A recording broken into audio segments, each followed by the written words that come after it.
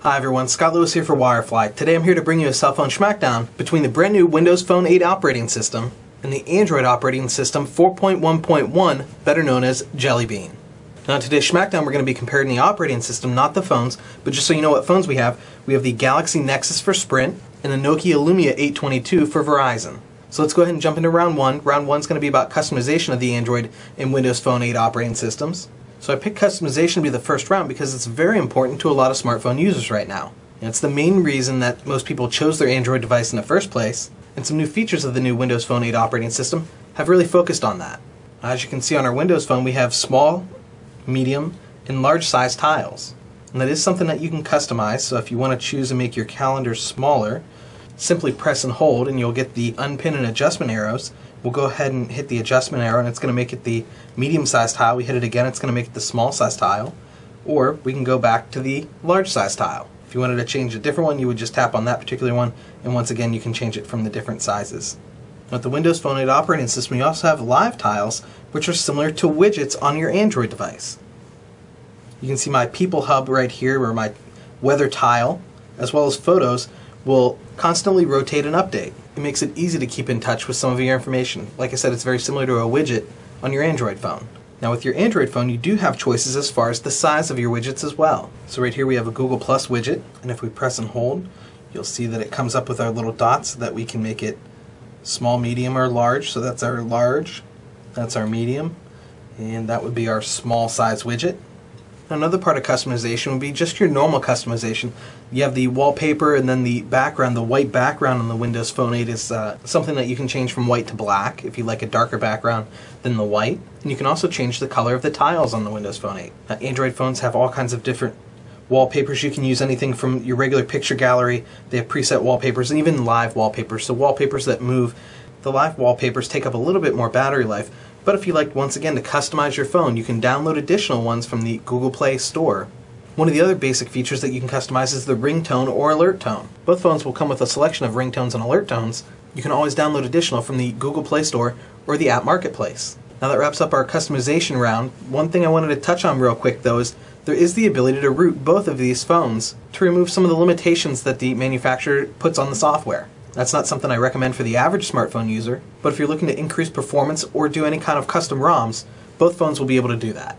With that being said, the round one winner is going to be Android. Round one really boils down to the difference between widgets and live tiles and which one you like better. I like the selection of widgets that are available a little bit better than the options for live tiles, and it's a little easier to search for them versus trying to search for live tiles. So that wraps up round one. Let's go ahead and move into round two. Round two is going to be about navigation of the two operating systems. Now, most people are familiar with the Android operating system, which uses pages that you can scroll through. You can lay down the different widgets and applications as you scroll through, where the Windows operating system is an up and down scroll. So you scroll right through the different applications.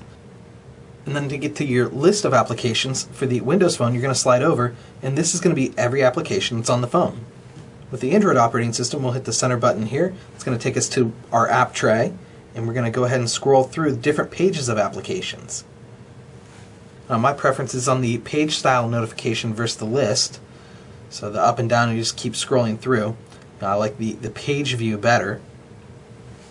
Now when navigating and trying to find out information on your phone, I think the Android operating system has a big benefit over the Windows. It has the notification center that you can pull down. It'll display things like unread email, text messages, and other alerts. The Windows Phone 8 does not have a notification center. It was something that they were talking about in the original development, but for one reason or another didn't make it onto the final version of the operating system. You never know if that might make it into a future update for the Windows operating system, so if that's an important feature for you, make sure to keep an eye on the Windows Phone 8 website. There's one feature that did make it into the Windows Phone 8 operating system that I really like. I have two small children, and very often I'll hand them my phone to make sure that they're entertained if we're in line someplace or we're on a long car trip.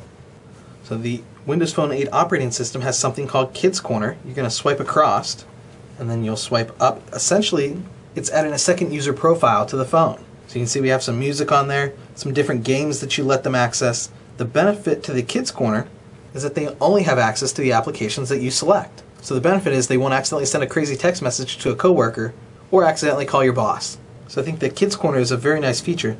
And then to get out of it, you're just going to hit the lock button again to make it go to sleep. You'll wake it back up and you'll slide to open. and then by entering your password, you have the full operating system available to you. So it's going to go ahead and wrap up round two, the navigation round. And for me, this round's a draw because there's some different features that are available on both phones that you really need to decide which one is right for you. Do you think you would benefit most from the Notification Center or the Kids Corner option on the Windows Phone 8? And then the other thing you need to think about is do you like a side to side swipe view with different pages for different applications, or do you want them all on one list that you can scroll right through? So with round two a draw, round three is going to be very important. With round three, we're going to cover applications for the Windows Phone and Android phone. There's a big difference between the amount of applications that are available for Windows Phone and Android phones. The Google Play Store has more than 600,000 applications available, where the Windows Phone Store has a little under 150,000 applications available. Both phones have a similar search experience, and they also display the search results in a very similar way.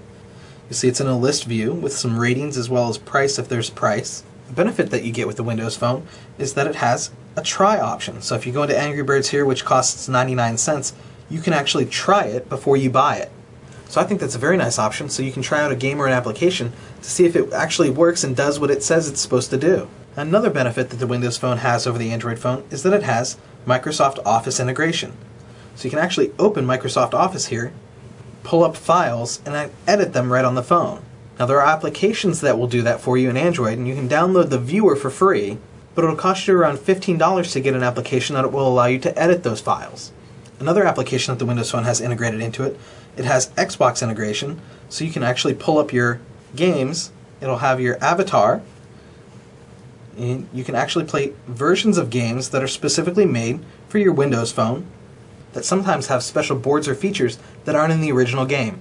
Now, that being said, because of the big discrepancy in applications, sometimes you don't get the applications that you want with a Windows phone. An example of that would be right now, as of this video, there's not a Pinterest application available for Windows Phone 8. You'll have some third party applications available, but nothing officially from Pinterest. So that wraps up round three. While I think the Office integration and the It option are great benefits to the Windows Phone operating system, the sheer amount of applications that you can get with your Android phone and the fact that you get all the high profile applications gives the benefit or the round to the Android phone. So our round three winner is the Android phone. And that means our overall SmackDown winner today is going to be the Android phone. I think the Windows Phone 8 operating system is a very good operating system. It might be a good intermediate step between an iPhone to an Android phone. It's very intuitive and very easy to use, and it might lend itself to a first time smartphone user a little bit better than an Android phone. That wraps up our SmackDown today. One thing to keep in mind though is if you're looking for a Windows phone or an Android phone, make sure to check out wirefly.com. We have a great selection on both operating systems at great prices. Like always, make sure to leave your comments here on a Wirefly YouTube channel, and if you liked our video, make sure to give it a thumbs up. My name is Scott Lewis for Wirefly. Thanks for watching.